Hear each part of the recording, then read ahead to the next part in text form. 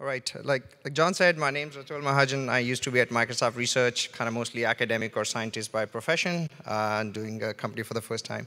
Company is called Intentionet, and our goal here is to help you design and evolve your network like software.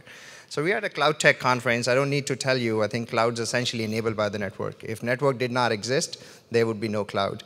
But you would stop trusting the cloud if I actually gave you an inside the behind the scenes look at how networks today get designed and things to give you some idea today how network engineering happens. So a network engineer typically has some policy intent, how traffic should and should not flow. They are responsible for translating that policy intent into device configurations on your virtual routers, your physical routers, your AWS VPCs, Azure VNets, what you have. Then maybe if it's a big shop with more than two or three engineers, somebody would manually look at it, hey, this looks okay. If it's not, you go check it. If it looks okay, you go deploy it and then you basically cross your fingers. The reason you cross your fingers is that this task today is very, very complex because translating policy into configuration, actually, you have many policy concerns, many protocols, many vendors, low-level directives. It's almost like today, these networks are being hand-designed and encoded using assembly. So that's what we are about to change. But this is what happens today. You know, you have network complexity, and even the largest of cloud players, as a result, have trouble keeping the networks uh, up.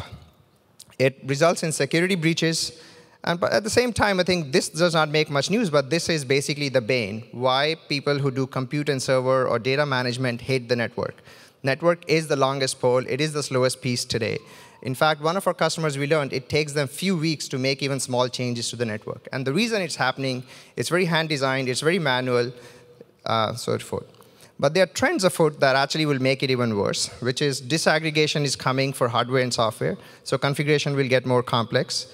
Uh, we are doing automation a lot, and automation, it seems like a blessing, but it's not a total blessing, because you know, without automation, you kill one router. With automation, you kill all 100. So keep that in mind, so things are getting more complex as well. Um, there's a transition to more complex network architectures. So you build data centers, and now you're building essentially hybrid cloud architectures. So complexity goes up. At the same time, the scale goes up. So you know, engineers today are managing 10 to 100 devices. Tomorrow, they'll manage 100 to 1,000 devices.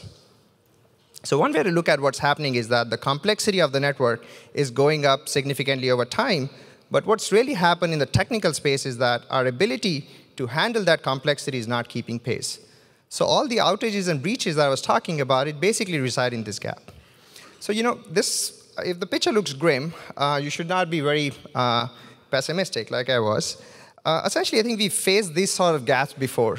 And we faced these gaps in hardware engineering. Before the EDA, electronic design automation companies took off, there was a huge gap in the complexity of what people wanted to design and what the ability to design was. And then this whole industry took off around EDA.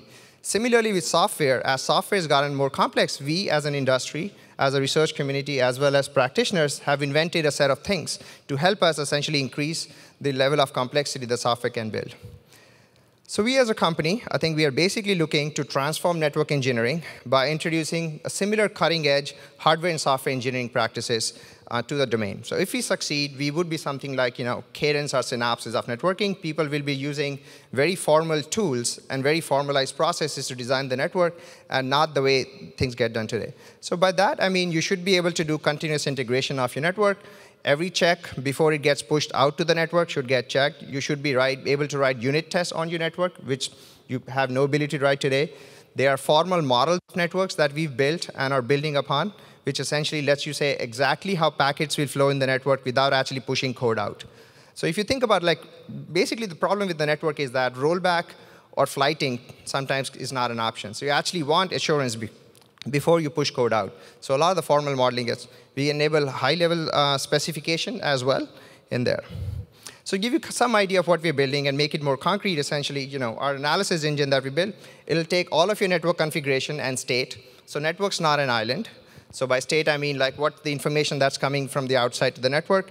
We let engineers then define what the network should look like. And we have models underneath that give you guarantees where violations happen, where they don't happen, and give you what the bad lines are. So we are building essentially a platform. As an example technology we're building, uh, continuous integration for the network. So the, the same operator I showed earlier will design, hey, this is what I want to do. You define your correctness criteria. These are formal rules of intent. Analysis engine says, well, you do not meet your criteria, go revise. If you do, uh, co deploy. And that's one of the things we're after. But anyway, I'll stop here. Thank you. Yeah.